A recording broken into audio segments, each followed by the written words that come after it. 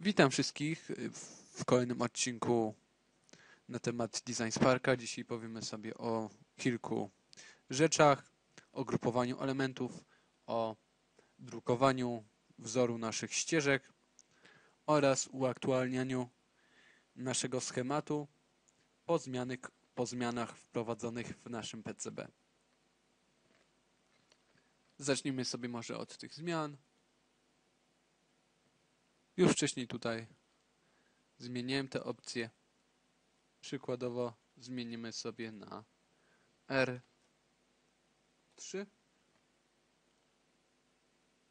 OK. Jak widzimy, tu mamy teraz R3, a tu mamy R9. Teraz w jaki sposób wprowadzić zmiany. Oczywiście moglibyśmy robić to ręcznie, aczkolwiek jest do tego specjalne polecenie. Tools, Back Annotation.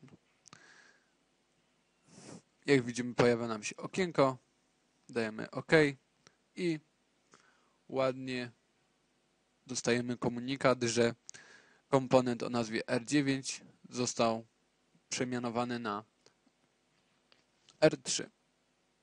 Zamykamy. Zostajemy zapytani, czy na pewno chcemy zapisać zmiany.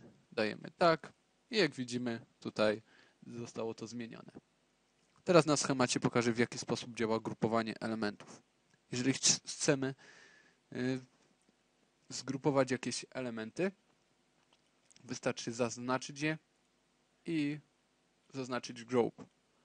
Jak widzimy, tutaj pojawia się nazwa naszej grupy. Możemy ją dowolnie modyfikować, czy na schemacie tylko ma występować. Klikamy OK. Teraz jak to działa? Jeżeli weźmiemy jeden element, wszystkie elementy zaczynają nam się poruszać. Możemy oczywiście rozgrupować.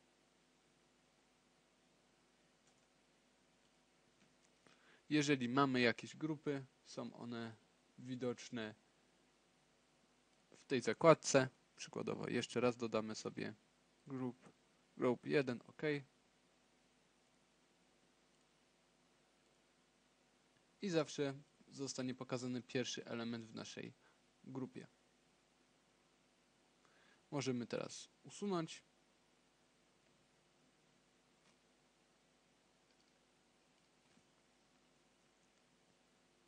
Teraz przejdziemy sobie do naszego PCB. W jaki sposób wydrukować ścieżki z naszego PCB?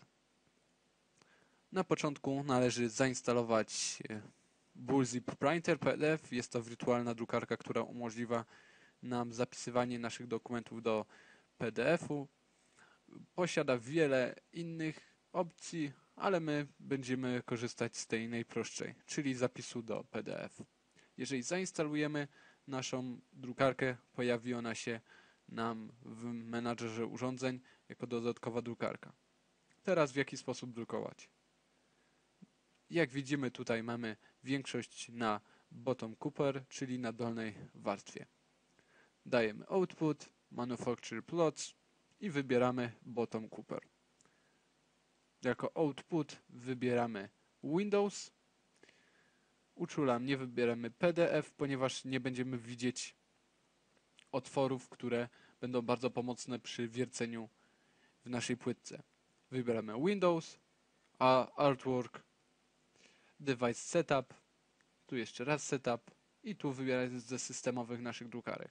Moją fizyczną drukarką jest Brother, ale wybieram Bullzip, ponieważ tą chcę wykorzystać w tej chwili do tworzenia tego dokumentu. Layers czyli wybieramy jakie warstwy chcemy mieć widoczne. Bold Outline, czyli obrys płytki, tak. Top Screen, no, no. Bottom Cooper dajemy tak. I Top Cooper również zaznaczymy na yes. Ponieważ mamy tylko jeden, jedną ścieżkę na górnej warstwie, również to zaznaczam. Aczkolwiek wiemy dobrze, że jeżeli chcielibyśmy drukować górną warstwę do na przykład termotwarsferu, należałoby zaznaczyć e, górną warstwę osobną i wydrukować w odbiciu lustrzanym.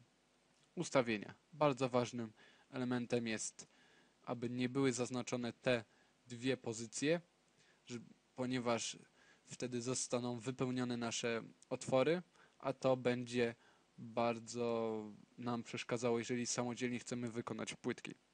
Dodatkową mm, korzyścią, którą mamy dzięki zastosowaniu wirtualnej drukarki, jest możliwość drukowania w negatywie mm, albo normalnie, czyli czarne ścieżki. W tym momencie wybieram klasycznie. Polecam tak to ustawić jak tutaj na rysunku, wszystkie kolory do czarnego, position. Nie polecam ustawiać center plot, czyli jedynie fit, fit plot. Tutaj mm, możemy na milimetry zmienić nasze jednostki. Jeżeli chcielibyśmy faktycznie wydrukować naszą górną warstwę w odbiciu lustrzanym, wystarczy zaznaczyć ten ptaszek. Aczkolwiek nie zaznaczamy, ponieważ my drukujemy dolną warstwę. Dajemy run. Raport w tej chwili mamy. Uruchomiona została nasza wirtualna drukorka. Zazwyczaj to zostawiam zaznaczone, ponieważ chcę zobaczyć jak wyszedł ten PDF. Zapis w tej chwili nadpisujemy plik, ponieważ już wcześniej tworzyłem plik.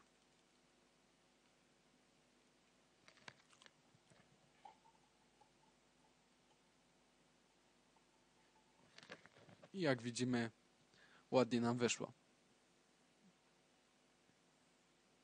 Teraz spróbujemy to samo zrobić, tylko wydrukujemy w negatywie.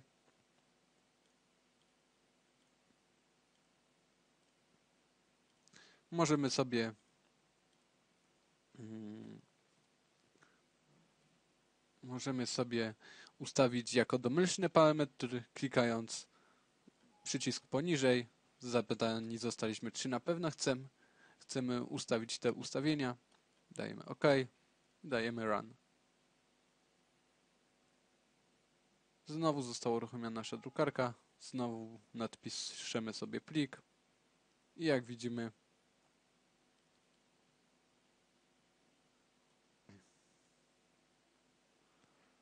Kolejną rzeczą, jaką chciałem, chciałem zaprezentować, jest możliwość importowania obrysu płytki oraz prostych grafik. Jak widzimy, tutaj mam jakiś wycinek, który później posłużył mi jako kształt naszej PCB. Jak to wykonać? Bardzo prosty sposób. Plik, jedynym warunkiem, aby zaimportować plik jako obrys płytki albo też inną grafikę, jest to zapis do pliku DXF.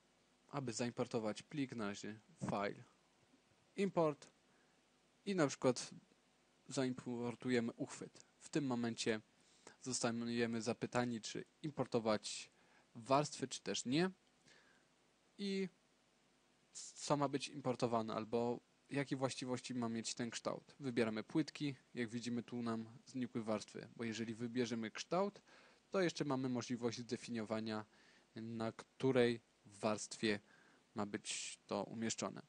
Jednostki, czy ma być przeskalowany rysunek, czy też nie. E, English, czyli to będą cale, miejsce i pochodne. Metric, czyli milimetry, centymetry i tak dalej. Tu możemy jeszcze w pozycję ustawić, e, czy chcemy z punktu 00 zaczynać, ale wszystko zostawiamy jak jest. Jak widać, program importuje nasze kształty.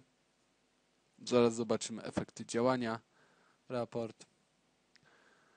Jak widzimy, to już wcześniej importowałem.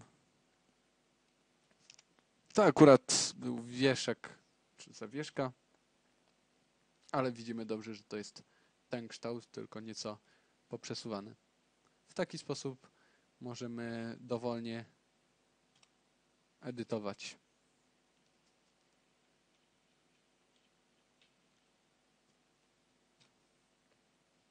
Myślę, że to będzie wszystko, jeżeli chodzi o drukowanie, wprowadzanie zmian oraz aktualizowanie oraz import obrysu naszej płytki.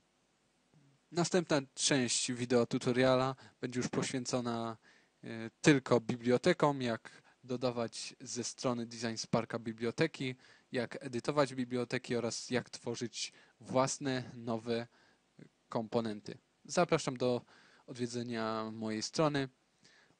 Zapraszam do komentowania, zadawania pytań. Dziękuję za uwagę. Zapraszam na następną część.